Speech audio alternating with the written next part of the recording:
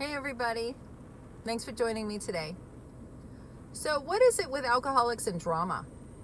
What is it that constant need for stirring the pot? I call it stirring the pot. It's where you take a big pot, a, a stick, and you stir the pot and you stir up trouble wherever you go.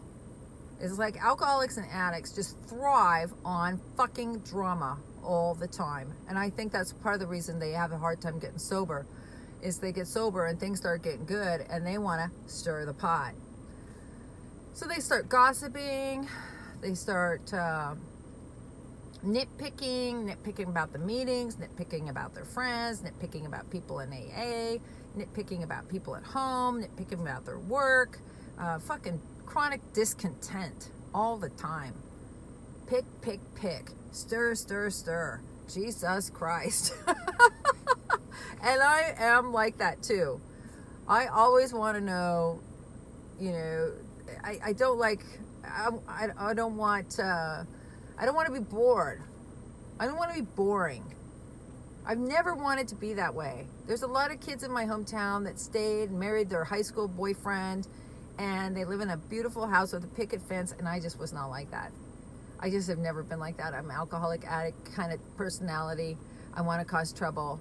I want to um, be dramatic and I want excitement. you know, and that's it's it's terrible. What I have found though is I found all those things when you help others. Since I've been working with alcoholics, my life is anything but boring. I have plenty of excitement. I don't have to stir the pot because they're all stirring the pot. And, uh, you know, it's a better way of life for me. I get to help people. I understand that mentality. So I can help people like that.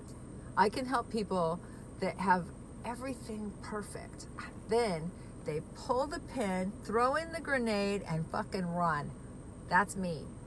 I get that kind of thinking. It will get you nowhere and it hurts everybody around you.